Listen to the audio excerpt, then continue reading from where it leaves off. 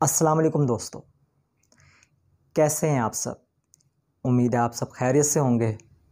दोस्तों, मैं हूँ आपका केमिकल मेंटोर और मैं आपको अपने इस चैनल में खुश आमदीद कहता हूँ।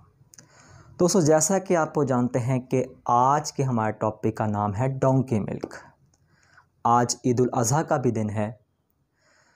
तो आज का दिन आप लोग बकरों की बात कर रहे होंगे, गाय की बात कर रहे होंगे, लेकिन मैं जो है आज आपके सामने गधी के दूध की बात करना चाहता हूँ। दोस्तों, ये सुनने में बहुत ज़्यादा ऑकवर्ड महसूस होता है, मगर ये वर्ल्ड रिसर्च है कि साइंटिस्ट इस नतीजे पर पहुँचे हैं कि गधी का दूध इंसानी दूध का मुतबादल है। इससे बहुत सारी बीमारियों का इलाज मुमकिन है देखें, यूरोप में जो है, इसको एज अ मेडिसन इस्तेमाल किया जा रहा है। और भारत में अब इसके प्लांट्स जो हैं गद्दी के दूध के प्लांट्स जो हैं, लगना शुरू हो चुके हैं। तो सवाल ये पैदा होता है कि क्या हमारा मज़हब हमें इस बात की इजाज़त देता है कि हम गदी के दूध को इस्तेमाल कर सकें? तो देखें, इस बारे में मैंने बहुत सी रिसर्च की और बिलाखिर मुझे यूट्यूब पर क्यू टीवी के मुफ्ती अकमल साहब का जो है एक क्लिप मुझे मिला, जिसमें वो फरमा रहे थे कि जिस पानी में गदा मुँह मार ले, वो पानी नापाक नहीं कहलाता, मशकूक हो जाता है। तो अगर वहाँ पर हमें इर्द गिर्द पानी अवेलेबल ना हो तो हमारे लिए हुक्म ये है कि हम सबसे पहले उस पानी से वज़ू करें और साथ ही तयम भी कर लें। तो जानब एहतियात क्या है कि हम वज़ू भी कर लें और साथ ही क्या काम कर लें? तयम भी कर लें। तो उन्होंने कहा कि साथ ही जो है, इसी तरीके से उन्होंने जब दूध की बात की तो उन्होंने ये कहा कि दूध के बारे में भी जो है, जो हमें मुख्तलिफ़ पॉइंट ऑफ़ व्यू मिलते हैं, वो ये हैं कि दूध जो है, ना तो नापाक कहा गया है, ना ही पाक कहा गया है।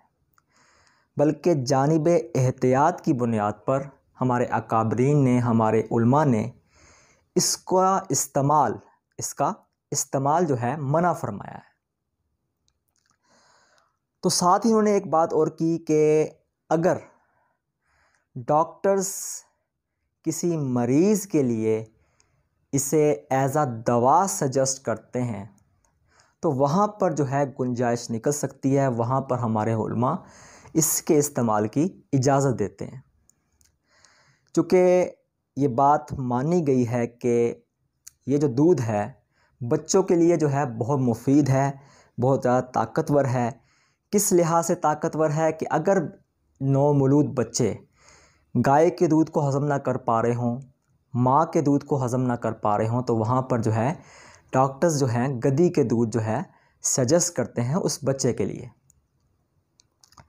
तो आज के हम इस टॉपिक में, जहाँ पर हम इस दूध के बेनिफिट्स को स्टडी करेंगे, वहाँ पर हम इसकी कंपोजिशन भी देखेंगे और ये देखेंगे कि ये कैसे जो है इंसानी दूध के साथ मैच करता है। और साथ ही हम ये देखेंगे कि पाकिस्तान में इसकी प्राइस क्या है और इसको जो है किस तरीके से हम स्टोर कर सकते हैं। तो आइए हम चलते हैं अपने लेक्चर के बाकायदा आगाज़ की तरफ़। तो देखें अगर हम इस दूध की कंपोजिशन की स्टडी करें तो हमें ये पता लगता है कि इसमें प्रोटीन्स और फैट्स की मकदार कम है और इसमें लैक्टोज ज़्यादा होता है। इसकी हम चीज़ नहीं बना सकते, इसकी हम पनीर नहीं बना सकते।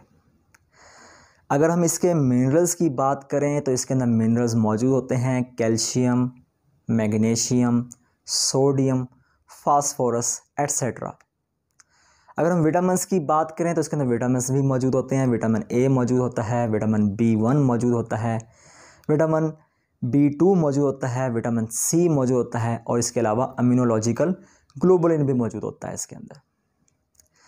इसके अलावा इसके अंदर ओमेगा थ्री और ओमेगा सिक्स जो हैं, जो कि ख़ास किस्म के फैटी एसिड्स हैं, वो भी इसके अंदर मिक्स किए जाते हैं।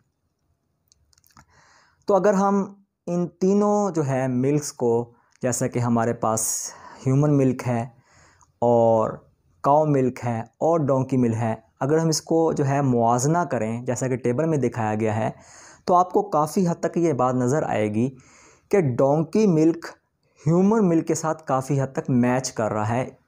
इसके बहुत सारे कंपोनेंट्स की जो कंपोजिशन है, वो ह्यूमन मिल्क के साथ मैच कर रही है। जैसा कि पीएच की तरफ़ देख लें आप प्रोटीन्स की तरफ़ देखें आप लैक्टोज की तरफ़ देखें ऐश की तरफ़ देखें और साथ ही आप इसके सॉलिड कंटेंट्स की तरफ़ देखें।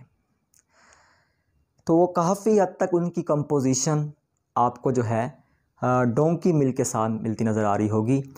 तो इसके सबसे नीचे आपको कैसीन नज़र आ रहा होगा। कैसीन एक ख़ास किस्म की प्रोटीन होती है जो कि दूध में मौजूद होती है। अब हम आते हैं गदी के दूध के कुछ फ़वाद की तरफ़, जिसमें सबसे पहले जो मैंने आपको फ़ायदा बताया था वो ये था कि वो नौमरूद बच्चे जो माँ के दूध को डाइजेस्ट नहीं कर पाते तो डॉक्टर उनके लिए एडवाइस क्या करते हैं गदी का दूध। चूँकि वो दूध गदी का जो दूध होता है, वो ताकतवर होता है और नौमरूद बच्चे उसको बड़ी आसानी से डाइजेस्ट कर पाते हैं। इसका मतलब इससे इम्यूनिटी में इजाफ़ा होता है और इसके अलावा ये हमारे मेटाबॉलिज्म को इन्हांस करता है।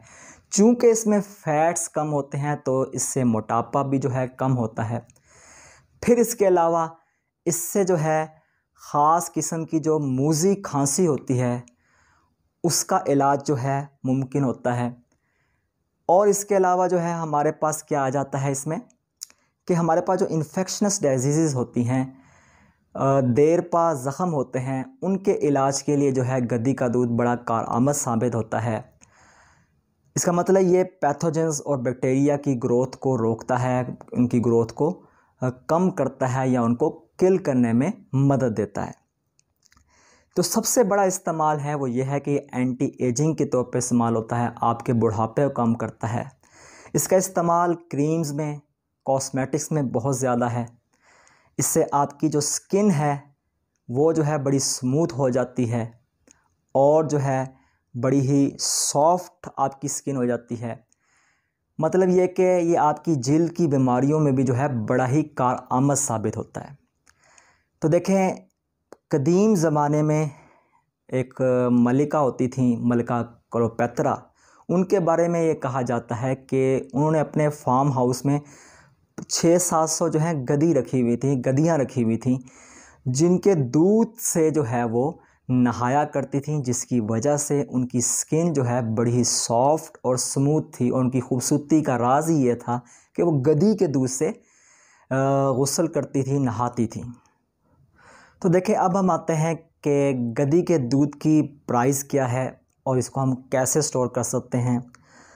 तो देखें ऑन एवरेज अगर देखा जाए तो एक आम गदी जो है, एक वक्त में या एक दिन में ज़्यादा से ज़्यादा आधा किलो दूध देती है। और अगर इसकी प्राइस देखी जाए तो इंडिया में जो है इसकी प्राइस तकरीबन सात हज़ार रुपये पर लीटर है और पाकिस्तान में इसकी प्राइस पंद्रह हज़ार से लेकर अठारह हज़ार पर लीटर तक वेरी करती है। आया इसकी प्राइस क्यों ज़्यादा है? सबसे बड़ी बात यह है कि ये दूध बहुत हल्का होता है, बहुत जल्दी ख़राब हो जाता है। तो अगर आप इसको स्टोर करना चाहते हैं, इसके पैथोजेंस को मारना चाहते हैं तो उसके लिए आपने इसको पंद्रह मिनट तक बहत्तर डिग्री सी तक की हीट देनी है ताकि इसके पैथोजेंस को मारा जा सके और इसको थोड़ा सा लंबे अरसे तक जो है इसको स्टोर किया जा सके। तो उम्मीद है आज का ये टॉपिक आपके लिए काफ़ी इन्फॉर्मेटिव रहा होगा। इस टॉपिक से रिलेटेड आपको मज़ीद कुछ क्वेश्चंस होंगे तो आप मुझसे कमेंट बॉक्स में पूछ सकते हैं। बहुत बहुत शुक्रिया आपका।